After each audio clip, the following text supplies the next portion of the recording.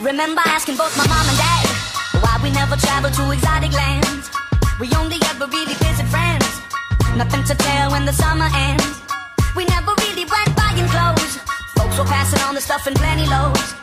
New shoes once a year and then out to play ball so we could ruin them. Mama said that it was okay.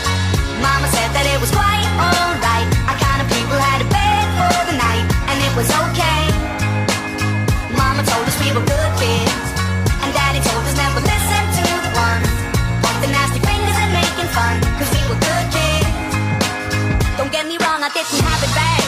I got enough loving from my mom and dad, but I don't think they really understood when I said that I wanted to feel in Hollywood. I told them I'd be singing on TV. The other kids were calling me a wannabe. The older kids, they started bugging me.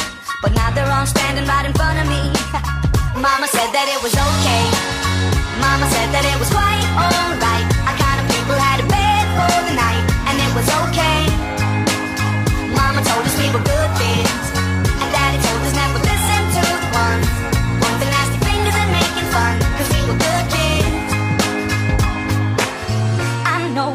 Place I'm from. I know my home. When I'm in doubt and struggling, that's where I go.